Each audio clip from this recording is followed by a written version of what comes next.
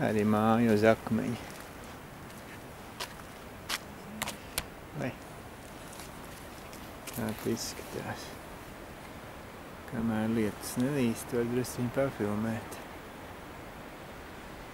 Nu, tur jau radas sniegs.